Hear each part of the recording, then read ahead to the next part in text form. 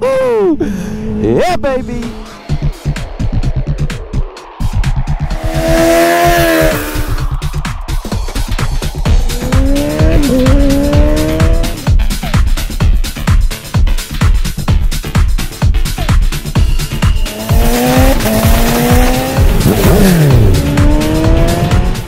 What's up YouTube? Welcome back to the CBR 650R UK channel.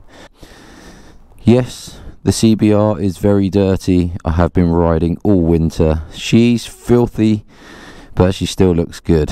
Um, to be fair, the car's filthy as well, so both machines need a clean. But we're going to go out on some uh, on a little ride today. Um, try out some new equipment, some new cameras, try out some new things, talk about the bike. I'm going to talk about what I like about the bike, what I dislike about the bike, why I chose this bike in the first place. I'm also going to talk about um, the other options that were on the market um, that I was looking at before I picked this bike. Also, got some other things coming up that I'm doing on the bike later on in the year. We're still in January, so loads of time to get stuff done. There's loads coming this way. But um, first, let's fire her up.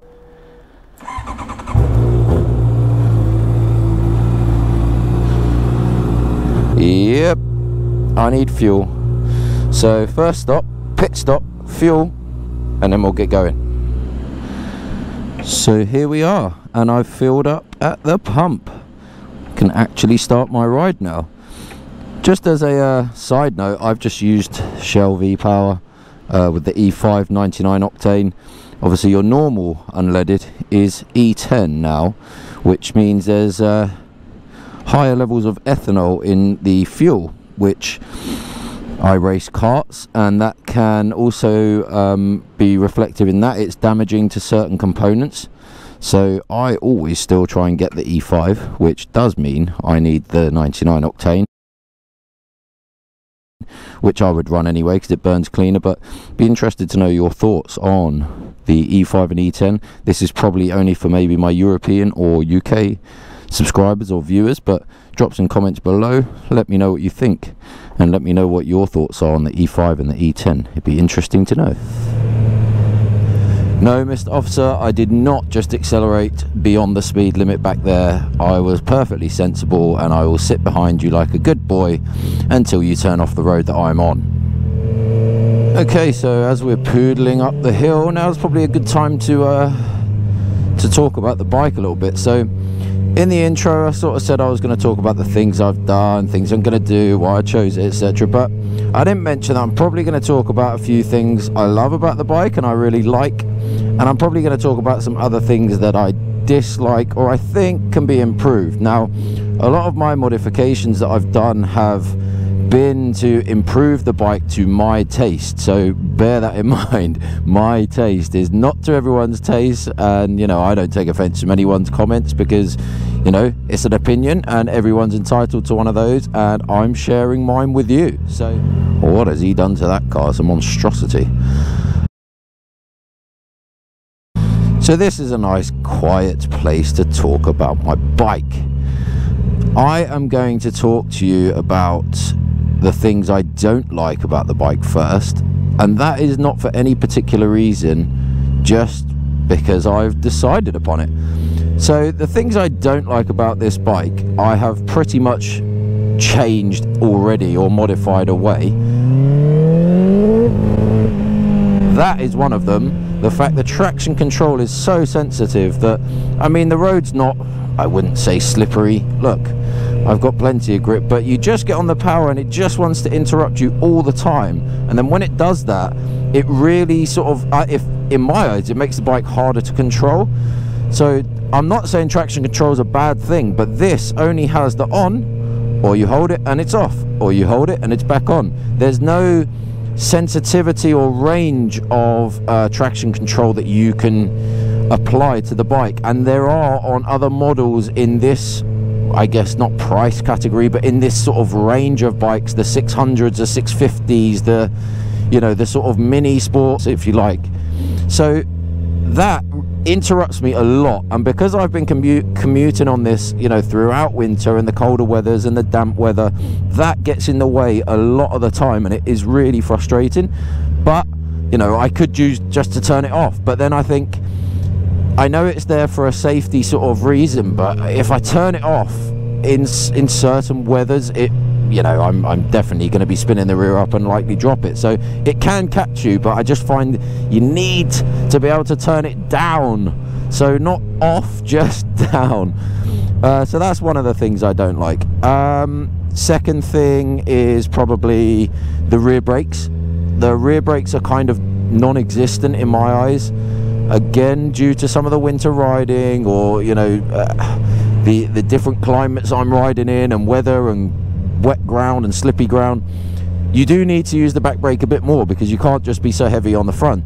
Now, I just find that you get on the back brake and I mean look this is me just in fourth cruising standing on it it okay it slows you down but it's it's nothing compared to your front brakes apologies so I think they need improving. I can you know you can buy aftermarket stuff and I may well do get some Brembos or something on there but I think that's kind of a a bit of a letdown. And I know this is not a super sport bike. A lot of people refer to this as a super sport bike. It is not a super sport bike. It's a sports bike definitely.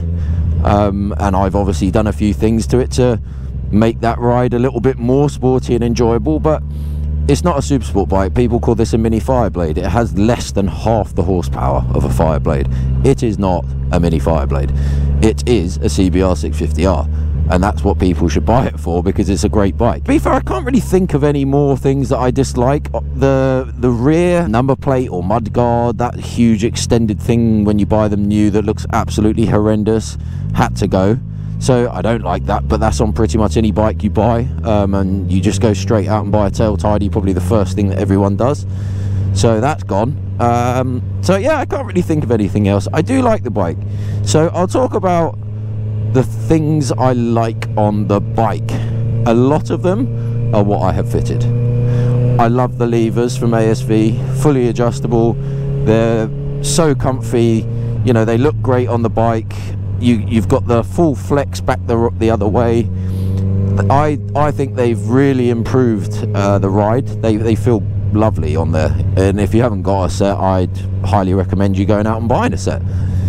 I'm not working for ASV and I am not uh, getting paid for this, but uh, they are very good. The quick shifter is something I like on the bike, but again, I've fitted it. So that has really changed the dynamics of this bike and just being able to shift and downshift without using the clutch at all. And just if you are really pinning it somewhere you know and having a bit of fun it's great knocking up and down through the gears. Does take some getting used to which any of you with a quick shifter on will already know and I'm just you know telling you how to suck eggs. But for those of you that have not fitted one or ridden a bike with one you have to have the throttle on for you to upshift and you have to be fully off and shut the throttle for you to downshift which does take some getting used to um, but it is it is really good and it has changed the ride completely. So another thing I like is the dash. The you know it's all digital. You have a couple of um, different set modes here that you can run through. So at the moment I've got my revs up here and I've got my uh, miles per gallon there. Why? I don't know. I don't really look at miles per gallon but it was on there anyway. Um, I, I really like this dash. I think it's it's simple, it's easy to read. You've got your gear selector, you've got your fuel, you've got your revs, your temperature, and your speed and a time. What else do you need? People want all these fancy things. That is nice, clear, simple, easy to read, does the job.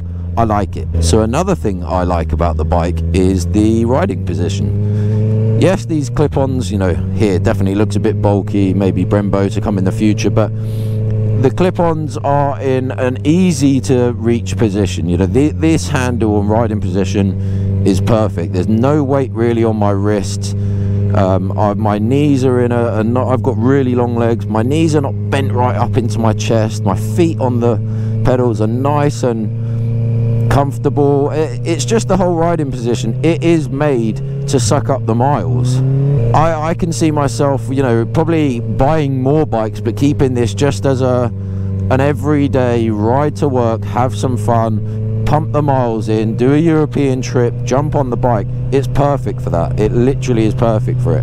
None of this tucked in a ball position, bad back. I've ridden this bike for hundreds of miles at a time. I picked this up in Lincolnshire and I had to ride it all the way back to London uh, the first time I jumped on it, and it was fine.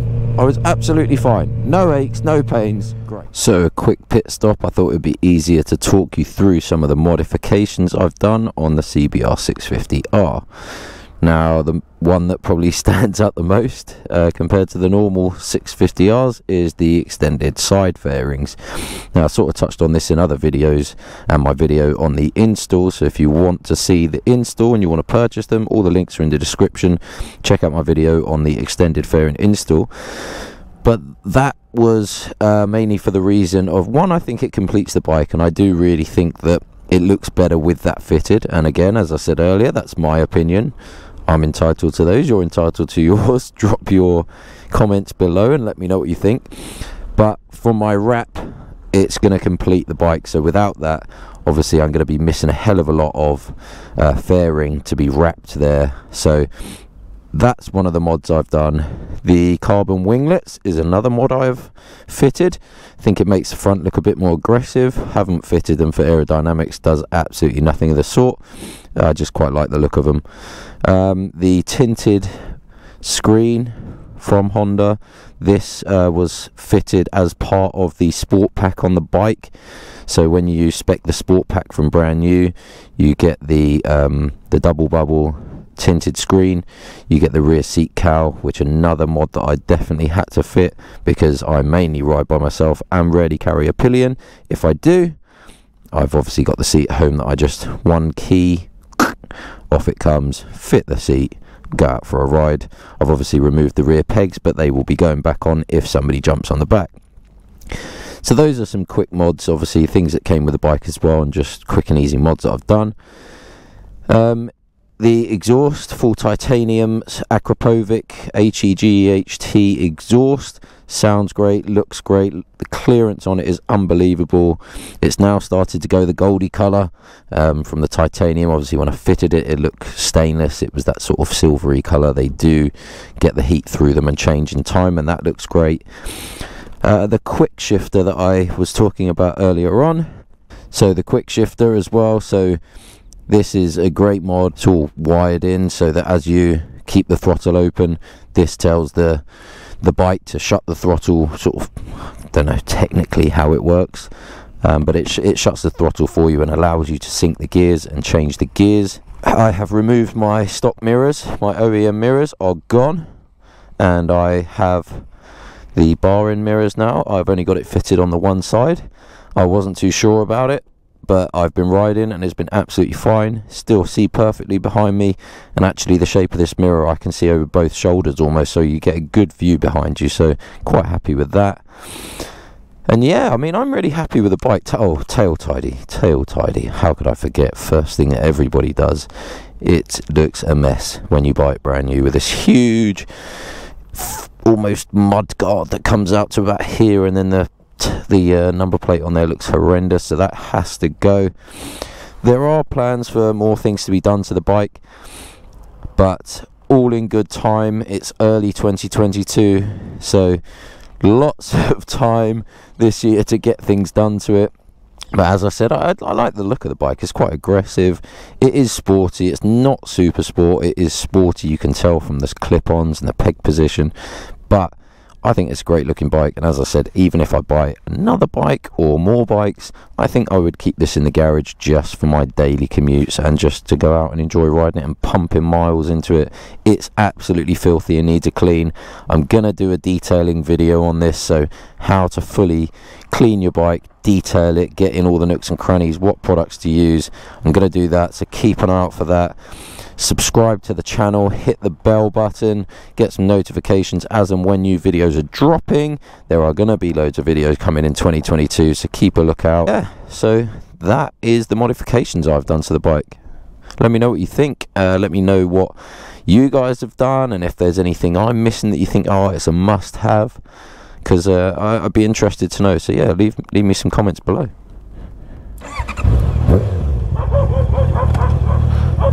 Oh, the dog's not happy with the bike.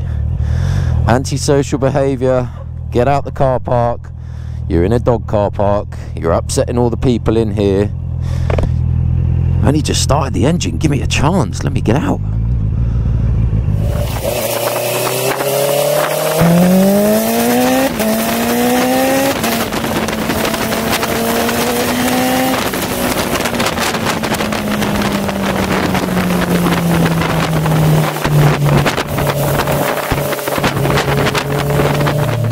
As I said, it is early January 2022. It is absolutely freezing. And what sort of idiot goes out riding in a hoodie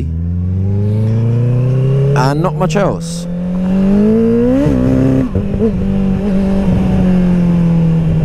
There goes that traction control again. And I can't even blame it on the power. You can't even say it's got too much power to try and put down. Because it definitely hasn't got too much power to try and put down. It just kicks in too early all the time. Why, I don't know. Sort it out, Honda. Get me some adjustable traction control because I fell on my feet with this one when I bought this bike. I, I got a really great deal from Chris Walker in Lincolnshire. Um, he's got a Kawasaki and uh, Ducati dealership up in um, uh, Grantham. Uh, great guy, obviously used to ride British superbikes, world superbikes, Chris the Stalker Walker. So if you want a bike, he's got a huge selection. Go and check him out. He's, uh, he's a really great guy and got some great people working for him. Oh, neutral there wasn't many bikes for me really that I was considering for everyday sporty looking and everyday riding. So there wasn't a huge market for it. I mean, you guys are all going to be screaming at me in the comments like, "What about this? What about that?" But for my style of bike, the bike I looked like the the kind of bike I wanted is uh, it was kind of a limited market Myers. So and that's the thing with these Hondas you can only get them in the red or the black. So whichever one you buy everyone looks the same. You pull in a car park and everyone's like oh CBR 650R um, hence the reason I'm getting a wrap uh, what is this guy doing? Come on man. Make your mind up. Get on with it. Yes it's a busy car park but get out of the way. Yeah I'm going. I will be getting the wrap done at Sublime Designs. It will be a one-off custom wrap. Will nothing will look the same. And um, yeah, them, those guys do a great job. So go and check those out on Instagram. Sublime Designs there, unbelievable. They do a lot of race bikes, so it's all you know race fairings and. But yeah, go and check them out. They're absolutely awesome. So I'm just going to pull up here and grab a coffee.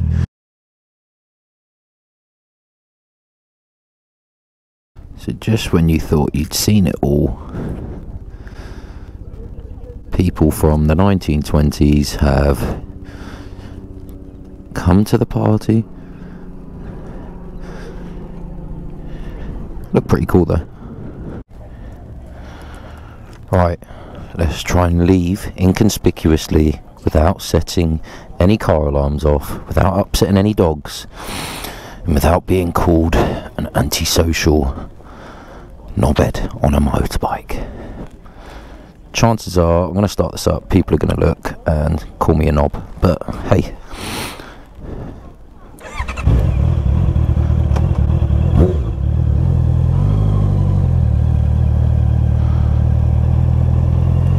Well, I think that went pretty well.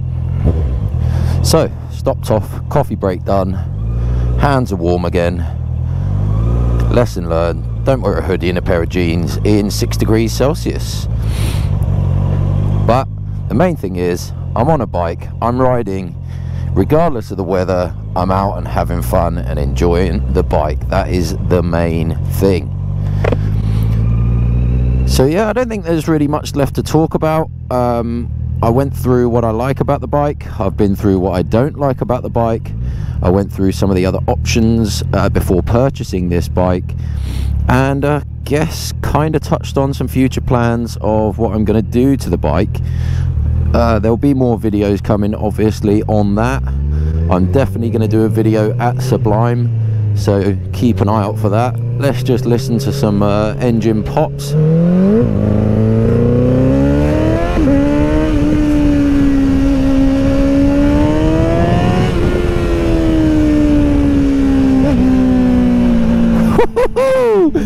Yeah, baby.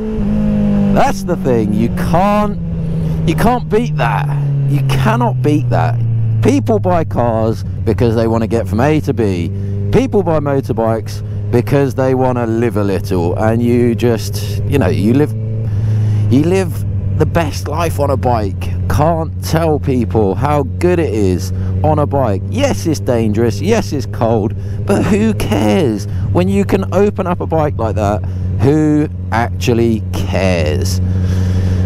I would rather have numb fingers when I get home than get out of a nice toasty car living the dream.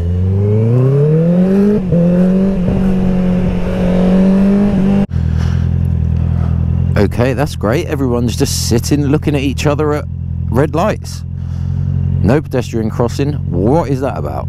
Aha, there we go.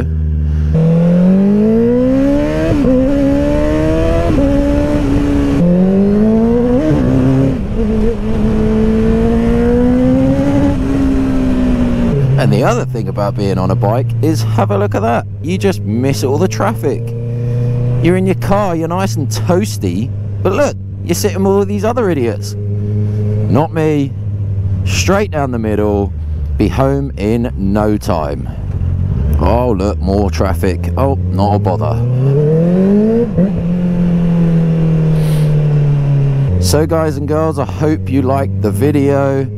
Uh, just a little insight into uh, into the bike really um, some of the you guys that follow me probably already have CBRs which is why you're probably following me if you don't I recommend them. They're a great bike. They're not for everyone. If you're looking for a super sport bike then go and buy a super sport bike. Don't buy one of these. But if you are looking to do fairly long journeys or be on the bike for fairly long distances and you know all weathers all sort of types of riding then this is definitely a bike to consider.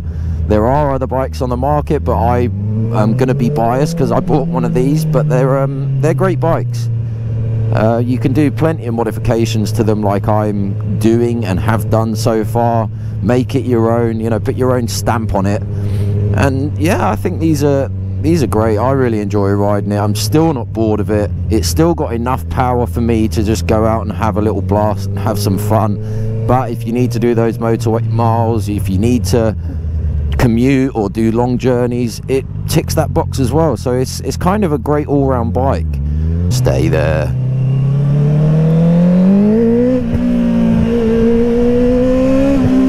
And you cannot get bored of that straight four sound. It's just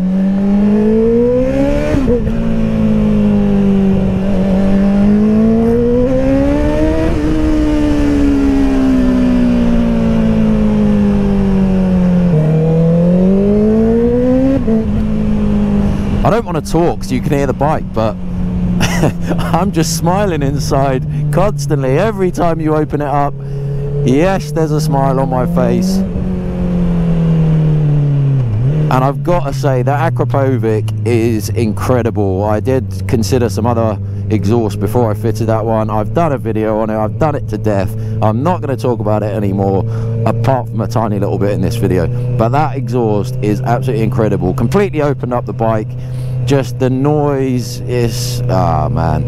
I'm going to leave it there. I'm going to stop talking about Akrapovic, but guys i hope you liked it. Subscribe to the channel. There's loads more coming in 2022 i've got so much more content to do. I've got so many ideas. I just want to share all that with you. I do this for you not for me. Uh, and yeah I'm, i enjoy making the videos. I enjoy it because i get to go out and ride my bike. And you guys just sit in your warm comfy homes and watch me freeze while i'm out riding. It's, it's great but roll on the summer months and spring uh, I'll have a few of my boys with me. We'll be doing plenty more videos, lots of content, all sorts of crazy bikes uh, that my mates have got. So, yeah, stay tuned. Thanks for watching, guys. See you on the next one. Let's go.